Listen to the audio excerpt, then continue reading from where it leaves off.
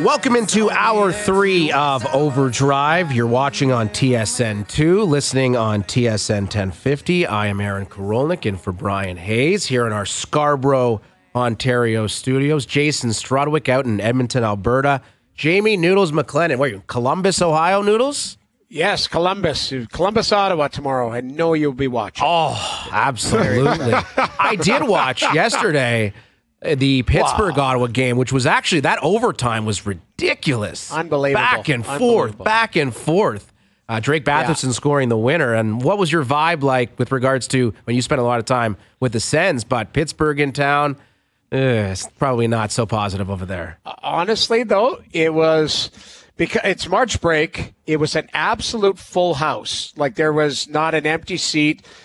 the The building was rocking, even though it was a low scoring game, but it was still high event. Both goaltenders played really well. Um, you could tell that Pittsburgh was pushing. They, they, you know, eight points out of a playoff spot, so they really needed those two points. You're scoreboard watching. You're watching Detroit get woodshedded. That being said, Buffalo, I think, is now five points out of a playoff spot and kind of you know, sniffing around. Like, I think it's going to be very interesting heading down this stretch here. Yeah, you know, teams trying to leapfrog each other. A couple, couple games in hand on Tampa, Detroit. Like I say, has stubbed their toe. Um, you know, Philadelphia. That's a big game against the Leafs tomorrow because they're not out of the woods. They've got 76 points, and you know, Joe from the Bridge has put up the the standings there. I mean, this is Washington playing in Edmonton tonight. They've got 19 games remaining. Like it is it's going to be, you know, right down to the end. Jersey's got the two new goaltenders, so I don't know. I, where's the cut line for you guys? Is it Pittsburgh? Is it is it Buffalo? Is it Detroit? Like where where is the cut line for you guys? Ready? I'll, I'll jump in there. I, I, I, I don't have the faith in Pittsburgh. I've now seen them play uh, quite a bit recently. I, I just don't think they have have it this year. And it's not even their top guys. It's just the general team. So, you know, New Jersey, I feel like they made the move for the goalies too late or unable to make it earlier. Um, so I I think that, you know, five, six points is exciting, but there's a number of teams in front of you. You have to pass, you know, Buffalo, Detroit. I think we'll find a game. Uh, sounds like Larkin might be back, probably not this weekend, but next, uh, sorry, not this weekend, maybe next week. So I don't know. I, I'd probably cut it off noodles at, at, at Buffalo, probably. What about you, Yeah. Aaron? Well, I mean, I would say, and I hate to say it because our boy Travis Konecny joined us earlier, but I would not be surprised at all to see Philly fall out. And you know, the Sean Walker trade, again, I was there on Saturday night where Tampa just destroyed the Philadelphia Flyers. And I actually really Yeah. liked what Tampa did with Duclair and Dumba. I thought both of which, both of whom looked really good uh, in that game. I could see Philly Yeah. falling out.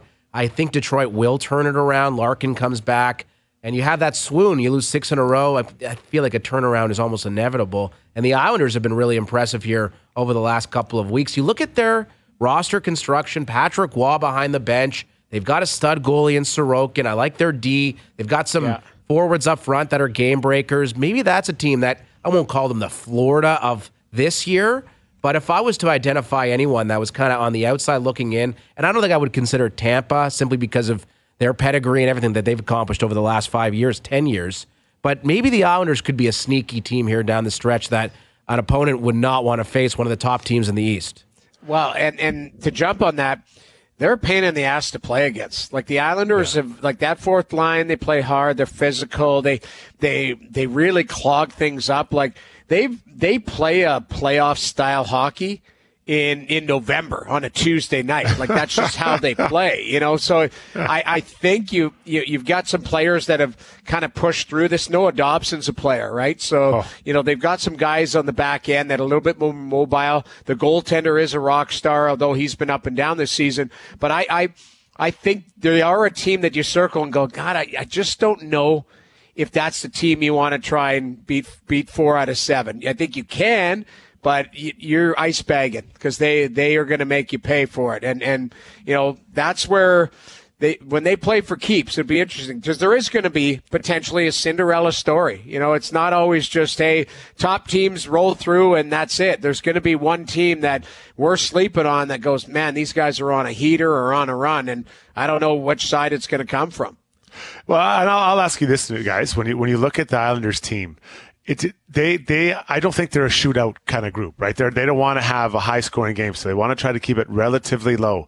But yeah. if, if are they are they able to for seven games for multiple rounds just keep as you say grinding out the wins, goaltending and and and good D men, and then pretty responsible forwards. It feels like that is their way their path forward. That's a really hard style to play, but I, I you know for for a long time over the year in, in the playoffs. We'll continue this conversation a little bit later this hour, gentlemen, but we have a man on the line who's a former NFL head coach, a former college coach, a former NFL DB, now with ESPN. It's our man, Herm Edwards, back on TSN 1050. Good evening, coach. How are you?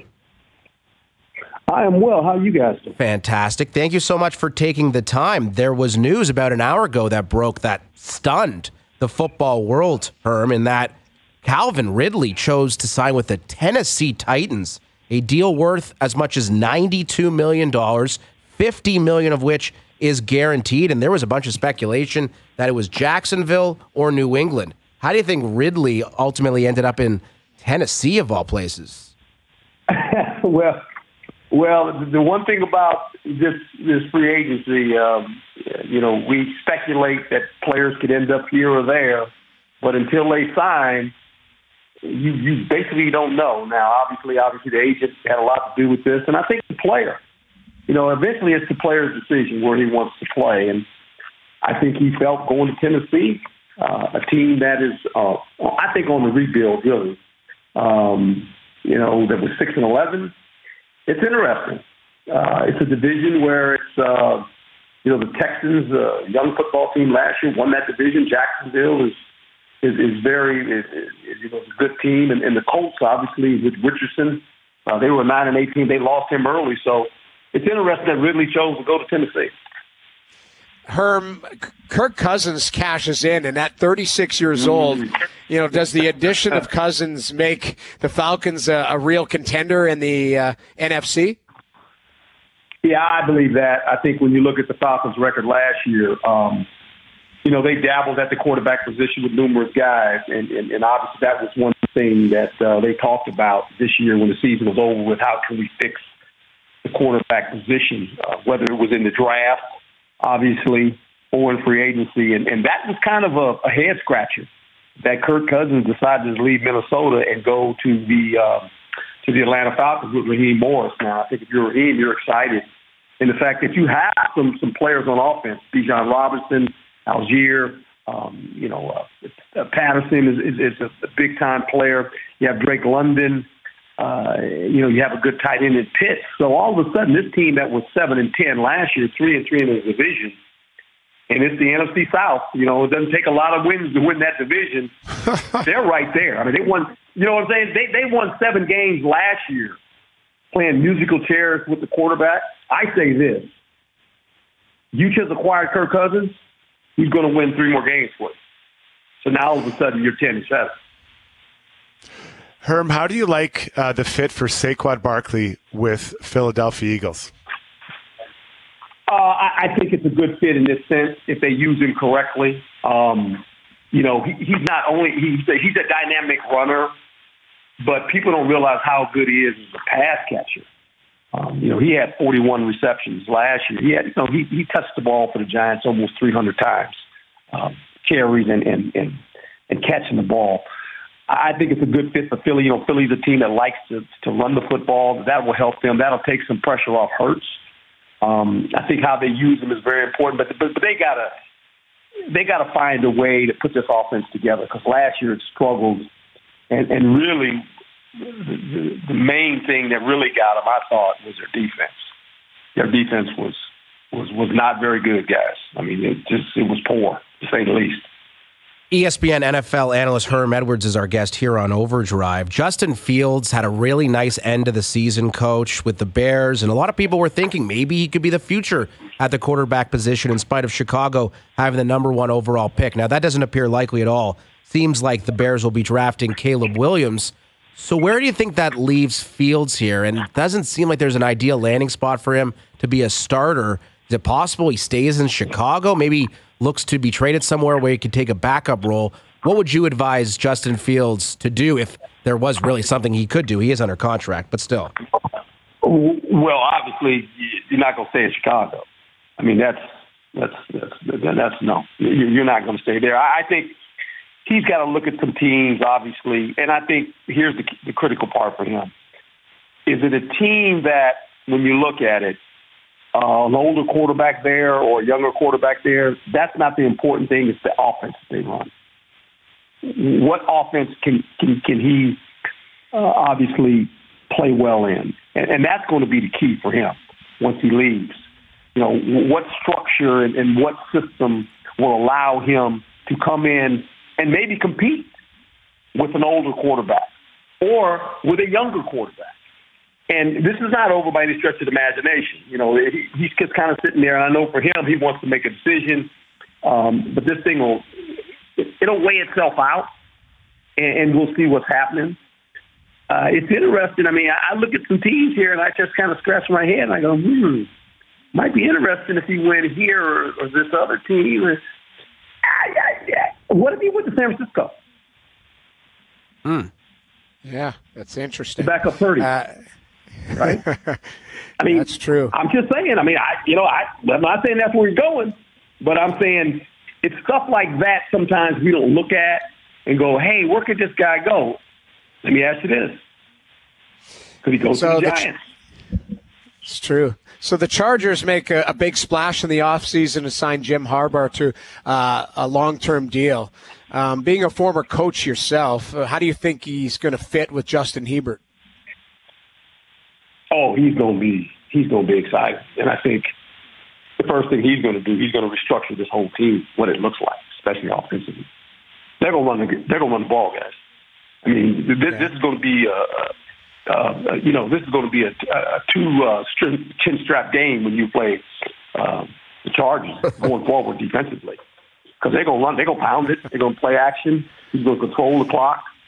Um, he'll get that defense going. This is going to be a tough physical football team.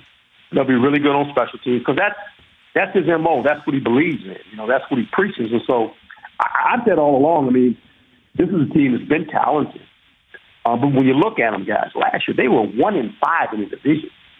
One in five, right? They were five and twelve. They have enough talent.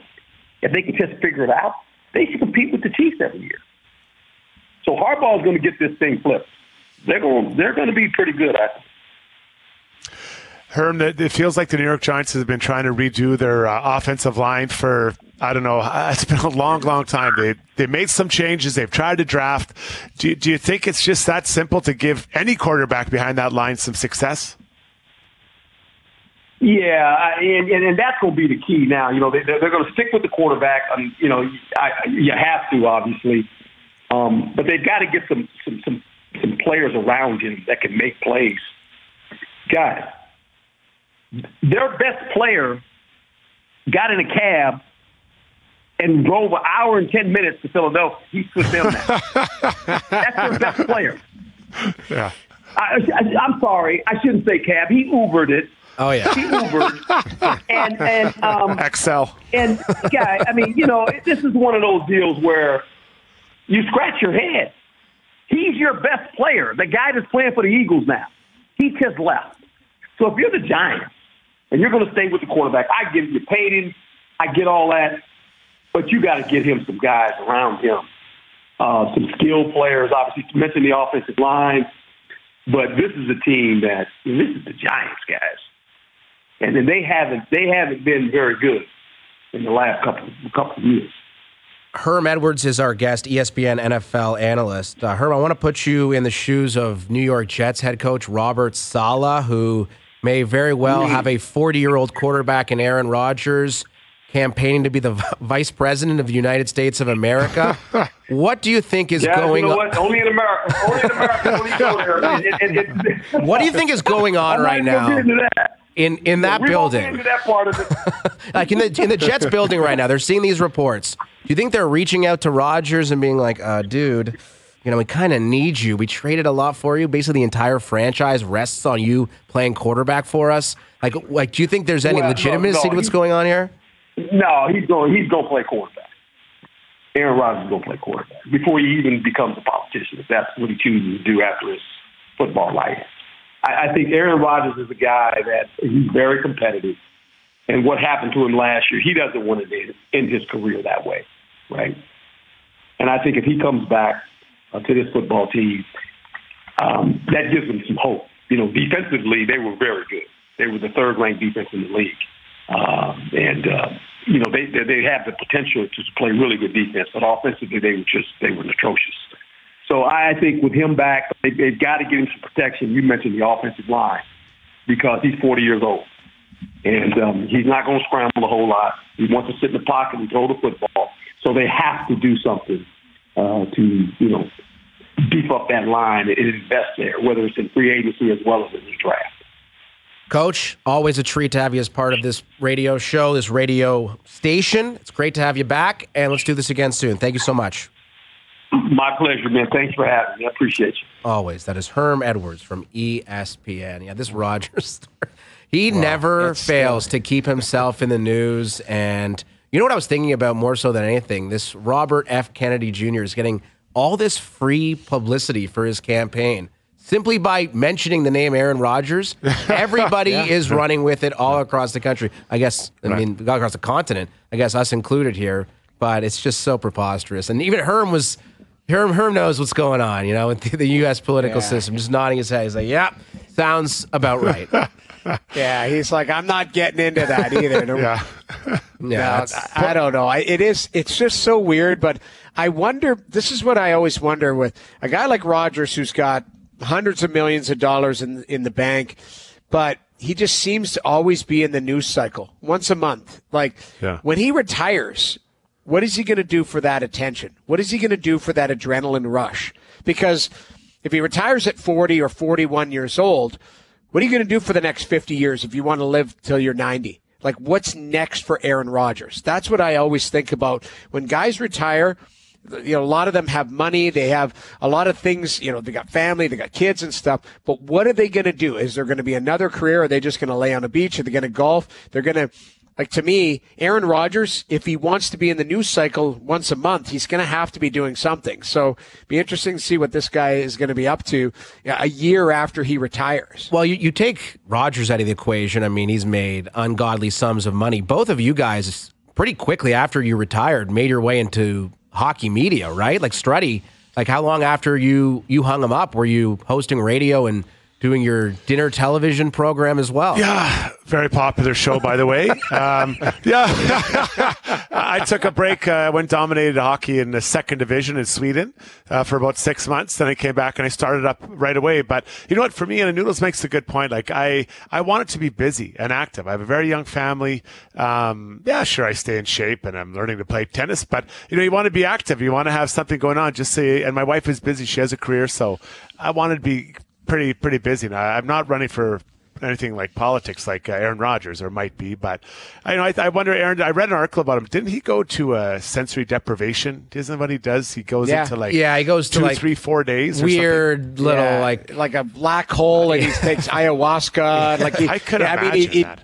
he does a lot of unique things, which is he seems like he's a guy that you know either thinks outside the box or is you know beats the the you know his own drum type of thing, Yeah. which is, is fine. But I, I just like what is the next step? Like Tom Brady, you know, I, I still think Tom Brady is going to be an owner in the NFL, but you know, is he going to be in the booth? All of that type of stuff. Like you, you look at hockey players, you know, Strutty. We know a lot of guys who are retired and they either get into coaching or scouting, or now they're working with their own kids. Like everyone's got their own pathway. But I just, I'm always curious with a guy like Aaron, you know, Rodgers, Brady, that are, they're so used to the limelight. And then when it goes away, do they, do they chase it or do they, are they happy kind of just fading into the background? Yeah, well, Brady's going to be in the booth now, right? With Fox as their number Yeah. one analyst, and who knows what Rodgers does Yeah. after his career. I will say, Strutty, the power of overdrive is apparent when it comes to your Google search, where you plug in Jason Strudwick. First thing is like Jason Strudwick Twitter, Jason Strudwick NHL, and the fourth or fifth thing that comes up is Jason Strudwick knitting. knitting. Knitting. Yeah. So you are synonymous with knitting on Google search engines. Maybe I'll tweet at Aaron Rodgers about you shouldn't get into knitting, buddy. It's No. good, it's good for the soul. it's good for the soul. I put in 20 minutes earlier today, guys. Fingers are a little bit sensitive. They're a little tired. A nice China white and some knitting. That is how you conclude a night right there. There's only one kind of China white, and they're good ones. There's never, I've never had a bad one. Need that nutmeg. Need the nutmeg. We'll talk to Mark uh, Masters, our Maple Leafs reporter. Coming up, this is our number three of Overdrive on TSN 2 and on TSN 1050. Hour three of Overdrive continues. It's brought to you by FanDuel, bringing you everything from the opening line to the final score. Aaron Korolnek in for Brian Hayes, the Jamie Noodles McLennan, and Jason Strudwick. Big news in Leafland today is that Bobby McMann has a two-year contract extension with the Leafs, 1.35 mil a year. McMann, the pride of Wainwright, Alberta. Where exactly is that relative to Edmonton, Alberta? A little east, eh? A little east, Yeah, maybe. uh, east, southeast, yes. The, Yeah. Down by Lloydminster. I mean, it's a, I, I believe, or is that north, Struddy? Well, I think it's yeah, just basically maybe a little bit northeast, but it's kind of straight to the border towards Saskatchewan from Edmonton, right? To God's country, Yeah. they call it. Oh, it must be a, gri- a gritty town, Wainwright, Alberta, I imagine. Yeah, there's some probably some grit. But A it's Dairy great. Queen, Yeah, may- maybe a. Dairy Queen. Yeah, it's great. It's great for Bobby McMann. I mean, again, the story is remarkable in that one month ago today, he was slated to be a healthy scratch. John Tavares is sick, misses the game. McMann slotted into the lineup and scores a hat trick. And from then on, I mean, it's amazing how, and you kind of consider the butterfly effect, butterfly effect, how one thing that can happen can completely change the fortunes of someone's hockey career. And McMann has taken the opportunity from then on and really just performed admirably considering all the circumstances. And he scores again on Saturday night against the Montreal Canadiens. He was practicing on the third line today with David Kampf and Matthew Knies, a line that was really effective against Montreal on Saturday. It's a great heartwarming story for McMann, and the contract is fine. It's not overly onerous as far as what it costs the Toronto Maple Leafs, and for McMann, it gives him some job security here for the next couple of seasons. Well, it, it does, and and for me, like he's he's come by it honestly, and you're right. A lot of times we talk about it in the NHL all the time. You need opportunity. Like you can work hard, you can you can do and say all the right things, but if you're low on the depth chart, or maybe somebody in the organization doesn't really go to bat for you, you could be a really good AHL player and then you never get your opportunity and then you move on to a different organization. Here, he gets an opportunity and he seizes it. It's basically like some guys get nine lives. First rounders, they've got nine lives. They, honest to God, Strutty, you know this. There's oh, guys that's that true. There, there's guys that they're drafted really high, and it doesn't matter how crappy they are. It's like that guy deserves ten chances because we put a bunch of money into this guy, and then you've got a seventh rounder, or you know, and and and they're like, God, this guy we haven't we haven't invested a lot, and that guy is a late bloomer. And and they have to go and earn it, and they may get one chance to stick in the NHL. Well, he he got his chance, and he's run with it, and and he's been rewarded with a with a two year deal. Let's see, you know, hopefully it doesn't go to his head. Hopefully he doesn't drop off here. But he seems like a nice player, and I'm happy for him because honestly, about a month ago, me I was thinking this guy's a cold streak away from us never hearing from him again, and that's not the case now. But you know, you get your call up to the to NHL. You have to do what you do best. And then I, I remember my first game. I'm I was coming up there. I was going to fight anybody. I would have taken on Conan the Barbarian. I would have fought anybody at all. The Zamboni driver, the popcorn guy, anyone, just to show people that I cared and to get my name on the on the game sheet. Um, and and you you you know that's not for everybody. It doesn't really happen much anymore, but you've got to do what you do best. And that's either bring energy or be physical, block shots, kill penalties, win draw, whatever it is you do. You have to just show the best, but you have to be working towards that. It doesn't just come. You just don't decide and come up here, okay, this is what I'm going to do. You have to bring it right away. And I think that for this story, it's just like that. But for all the young kids that are out there, you're trying to just find that groove, do what you do best and be ready for it when you get that chance. Mitch Well, Martin. and- and- oh, go ahead, Noodles. so I was just going to say, and one other thing to add on that, AK is, is keep in mind everybody who makes it to the NHL, they probably were, were a star at lower levels. Yeah, no, honestly, yeah. like you It's think true, about it, there's true. guys who guys who scored 50 goals in junior, and they get to the NHL and they end up being a checker. So you've got to be able to adapt because a lot of times you make it to the NHL, there might be a special player ahead of you. And it's like, okay, we've got a spot on the third line or the fourth line. And well, I've never checked in my career or I've never done this. So you know, I was a starter all the way up to the NHL, and then you realize, okay, I, I'm a backup. Like, so the league sorts you out. To me, the quicker you can figure out what you are at the National Hockey League level and maximize that, that's where you is going to provide some longevity. Well, our next guest has developed into a star here at TSN. He is the He Maple is. Leafs reporter. He is Mark Masters with us here on Overdrive. What's up, Mark? Hey, not much. Just on my way to the airport and going to get to Philadelphia. All right. Well, we appreciate the time this evening. The Bobby mm-hmm. McMann signing, a two-year deal, 2.7 million, so 1.35 a year. We've been talking about the story February 13th where Tavares is sick, McMann slots in, scores the hat trick. I mean, this is a, a real rags to riches story here, Mark, that I don't think we can look past. It's a really cool story and, and really fortunate one for Bobby McMann. Awesome story. Awesome story. 27 year old late bloomer was in the ECHL a couple years ago for a few games. And uh, yeah, you know, I asked him recently, I asked him, you know, what were you thinking when you were going to be a healthy scratch? And he was saying, I was basically took it as a challenge to myself. I wasn't happy that I wasn't a consistent uh, guy in the lineup. And he stayed out late at practice and worked on taking the puck on his backhand, worked on his shot. He's got a great shot uh, which he showed off again Saturday in Montreal. And now he really hasn't looked back since that time. I mean, uh, he's not just in the lineup, but he's he's in the top nine. Uh, Sheldon Keefe kind of described him as blossoming, is is how he put it uh, in terms of his development in the last little bit when he spoke uh, before the extension was announced during his media session today. So it's a great story for for a team that needs guys to step up uh, down the lineup and come through on on cost effective contracts. Uh, so Masters, uh, obviously, the, it's a great story with Bobby McMann, but All right. Well, Noodles is out. Should we try? Should we try to guess what Yeah. he was going to ask, Struddy? What do you think? I, I, I think I got it, and I, I'll take over. I said, uh, Masters, great to talk to you. Yeah. How are the D pairings shaping up? I think that's what he was going to talk I think about. so. Yes.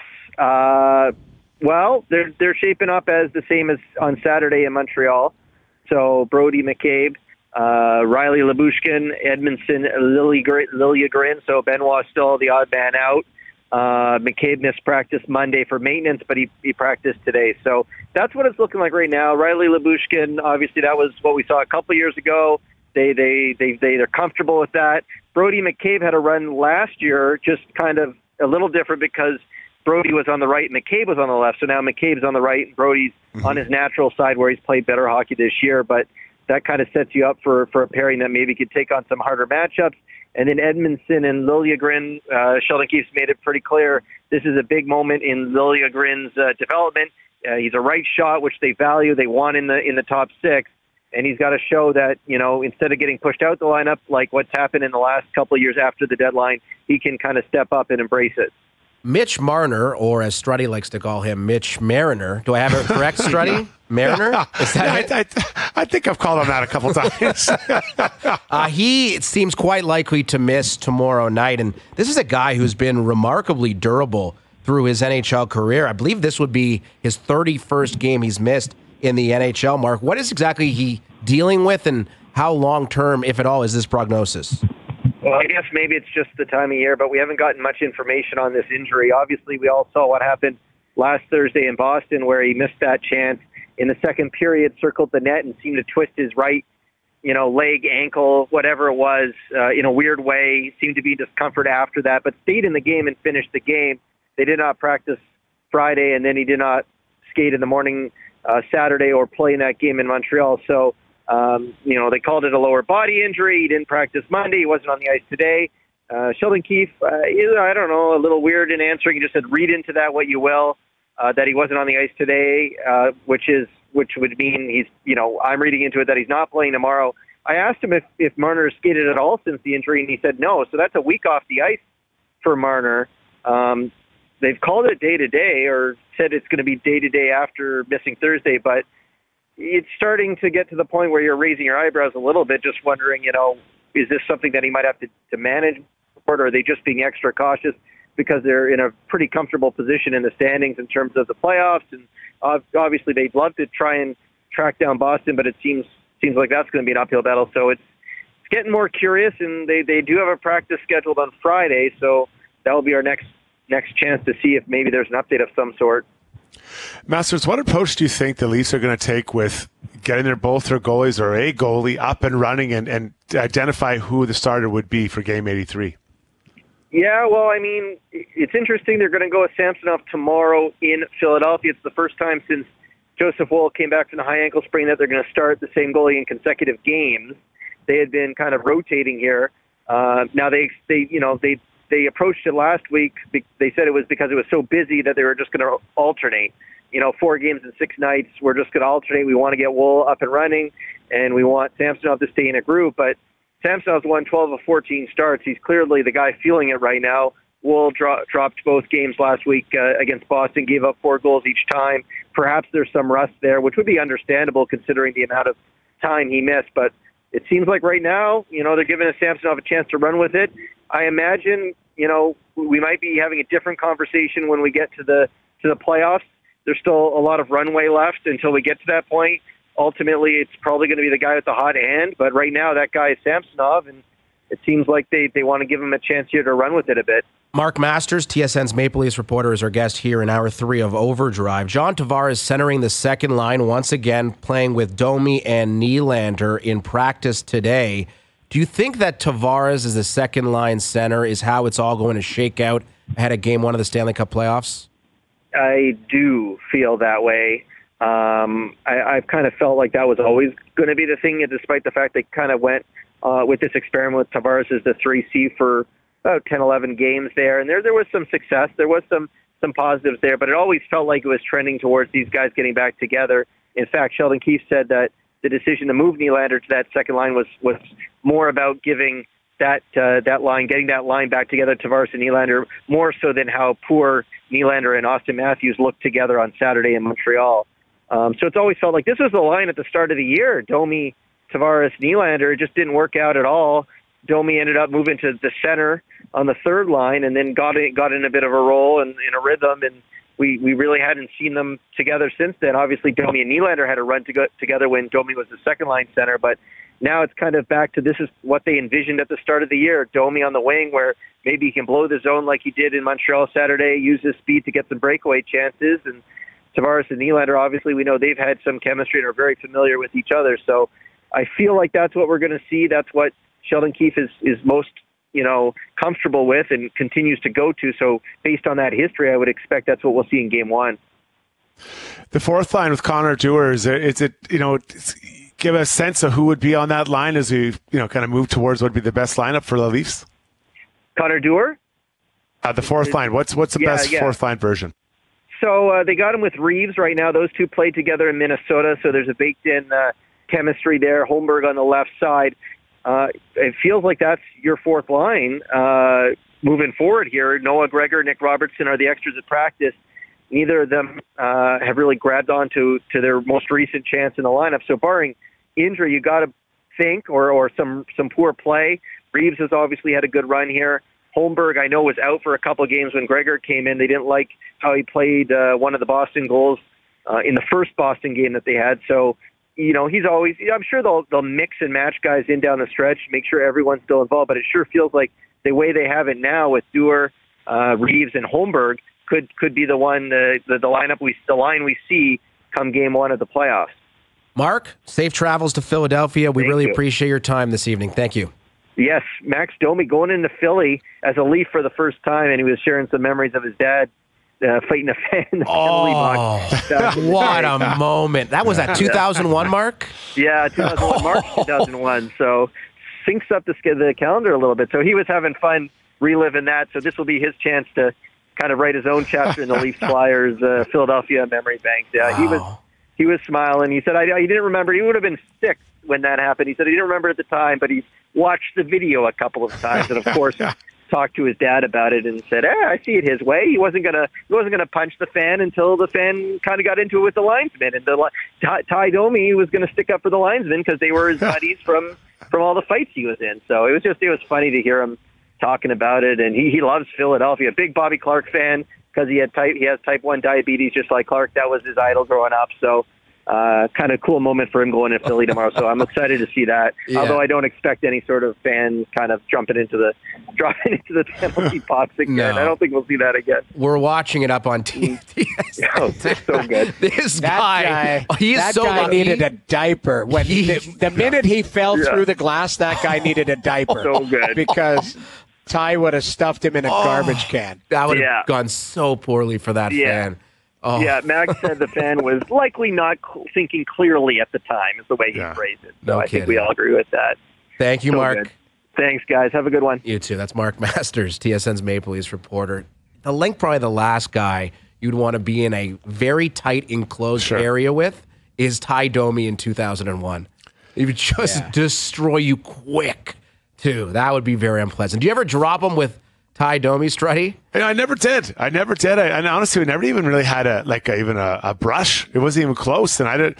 I don't. I mean, not that I was looking to go and fight him, but it would just. It, you know, usually you have a scrape with a guy after playing many times, but he he had a presence out there, and that was he. You know, he talked a lot, and he was kind of that big. You know, that big presence. But I'll say this about Philadelphia people in general: they're some of the most angry people I've ever met. The fans there. Uh, after the lockout 0405, we we go there. We have the first game back, and it says "Thank you, fans." Remember they wrote "Thank you, fans" on the ice. So we go out for warm up. This is the first game. I think ours was the first game coming back, and I'm skating around for warm up. I, I go to stretch. Uh, around center, and all I hear is someone banging on the glass. I turned around. There's a ten year old giving me the finger, and his dad's beside, like, "Yeah, give it to him, give it to him." I'm like, "Where, where are we?" And uh, that I will never forget. Fi- Philly fans are they they hate everyone. They hate their own team. I think they hate each other. They're an intense group of people. You know what I'm talking about, Noodles? Yeah, it's it's gritty. There's always that guy on the far blue line on on your side that looked like Bozo the clown. He had the wig and he'd be Yeah, yelling at right. you, and like that guy was a clown. But there there there is, for me, Philadelphia. They're a passionate fan base. But it is tough to play there. Like they let Yeah. you, you have one like bad shift, and people are just giving it to you. Yeah. Like it is a, and that that spectrum was tiny. Like that was a tiny building, and they had a big team. That's when the Legion of Doom was there, Lindros and Renberg Right. and LeClair. Like they they were a serious team, man. That was a scary building to go into. Uh-huh. Like there's not there's no buildings now that have like an aura about them. Like you, you know, there's no Boston Garden, there's Right. no Philly Spectrum, Chicago Stadium. Like there, there's no rink where you're like, oh, I'm terrified to go in there. Like even uh, Detroit had the Joe Louis Arena, the big hard boards in the corner, and like there was the odd in Buffalo. They had the guy who kicked the the Zamboni door and kicked the puck out to the middle. Like there was all these little unique things about buildings. Nowadays, it's just a multiplex that you show up in, and there's a ton of people in there. Well, do you remember the? I, I never played in the Spectrum as an AHLer. I did as an AHLer, and they had a guy named Frank the Animal Bialowas. Yes. and this Yep. guy, it just if you have a vision of what he looked, imagine the Tasmanian Devil with really long hair, and he was so scary. And this guy would race around, right? He just he'd get started and just run you, and then the fans would go crazy. They'd be changing Frankie, Frankie. like it was I'm like, where are we right now? Like, can we play Yeah. the game? It was scary. Frank the Animal. What I played name. with him. We brought him in. We brought him into the Islander. My first, okay, so my first ever game, like I, I, I was in the AHL and they sent me to the East Coast League for a weekend and we played in Roanoke. I was with the Richmond Renegades and there was a guy lined up on the other blue line smashing his head against the, uh, his helmet. And it was Frank the Animal Bialowas. I'm like, where am I? Am I on on the moon? And then a year later, we brought him into training camp, and he showed up to a game in a banana yellow suit. And this guy was like 240 pounds, and he had Yes. welts all over his back, and like he was just a mutant. But he was a nice enough guy, but very, very scary human. He's, very uh, he played three games with the Toronto Maple Leafs. Those were his only NHL games. You look at the rest of his hockey DB page 261 penalty minutes, 352, Yeah. pen- 277. He, I, I will say, I don't know. I, it, we got to go, but he he saved my life, mine and a couple other guys' life at a bar named Harold's Office at four o'clock in the morning in Albany, New York. We we had a uh, an exhibition game in Albany, New York, and we ended up going out for a couple beers afterwards and we ended up at the wrong place, a bar named Harold's Office. And we were not going to get out of that bar if it wasn't for Frank the Animal, because there was a. The we were surrounded by a gang, and Frank the Animal just basically took things into his own hands and said, "We'll be fine here, folks." He was wearing a banana yellow suit. I have so many questions. Surrounded by a gang. That is something we need to expand upon at some point uh, in the not too distant future. Never know. Frank the Animal Bialowas, a true legend of hockey. Uh, Overdrive continues here on TSN2, TSN 1050. All right, it's time now for today's best bets. They are powered by FanDuel. Bet on your favorite teams and players on the FanDuel Sportsbook app. In honor of Struddy's appearance on Overdrive, I'm on the Oilers tonight to win by a goal and a half, so minus a goal and a half on the puck line. Shout out to you, Struddy the Oil, hosting the Washington Capitals. I like Winnipeg over Nashville. Really like the fit of Tyler Toffoli playing with Iafallo and Sean Monahan in their first game. And I'm going to take the Toronto Raptors plus three and a half. Immanuel Quickley will play. RJ Barrett will not.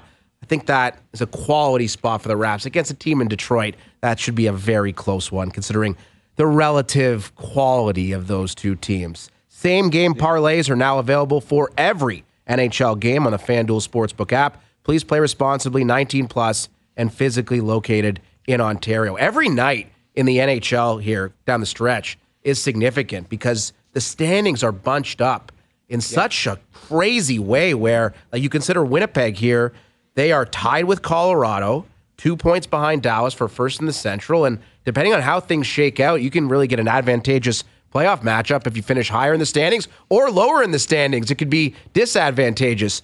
That's the beauty of what's going on right now in the NHL with all the parity. it's crazy. And, you know, Vegas has got 77 points. Minnesota is six points back. I mean, I don't think they'll catch them, but, eh, you know, think about this. Think if you're the Vancouver Canucks.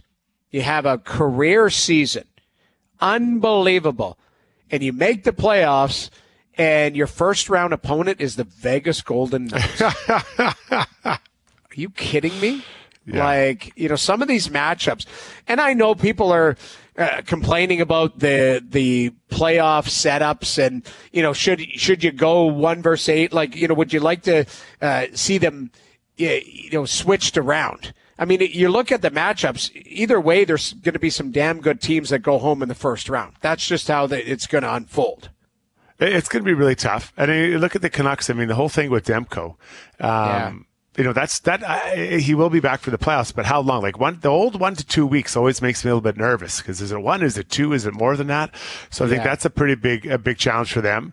Um, and Vegas, like I wonder last night that that late comeback against Seattle, they've been stumbling a little bit. Does that kind of energize them and get them going? And maybe they take a little bit of run up, up, up the standings and, and pass.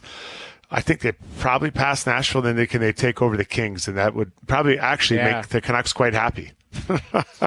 And then the Oilers wouldn't be happy about it. Think of the Oilers right now are either Yeah, poised to face L.A. or Vegas if they can't keep, catch Vancouver. Now there might be an outside chance that maybe, you know, what is Edmonton got three games in hand on Vancouver and one head to head. That's right. So 10 points behind, yes. yeah, so it's it's uh, you never know. I think it's going to be exciting to see how this finishes. I can't wait. I can't wait. And again, every night in the NHL is very significant. And tomorrow night, the Leafs playing the Philadelphia Flyers. Uh, we're looking forward to that uh, in a major way. It's on TSN. And um, you guys will not be on the show tomorrow, which breaks my heart. But I'll be here with, I believe, Dave Feschuk, maybe some special guests. I believe James Duthie and Carlo Colaiacovo will be in studio. Oh. So it should be a Frank the Animal by mm-hmm. Lois, maybe. Did you see Jonathan? Yeah. Shout out to Jonathan Crow. Hey, Overdrive. I covered Frank Bialowas and the Baby Leafs as a TV reporter in St. John's. Real character. Legend has it that he was once a male exotic dancer in Winnipeg. I do believe that I can confirm that because he talked about it. that guy is an absolute legend. Frankie the Animal. Wow, he needs to have some kind of Netflix documentary about the life and times of Frank the Animal. I, I interviewed him on in my, my previous show, and he during the during COVID, and I believe he runs like a road crew, and just outside of Philadelphia, like in New Jersey, and he he's the nicest guy, and he loves it. He's like, I love it. It's very straightforward. It's still like on a team.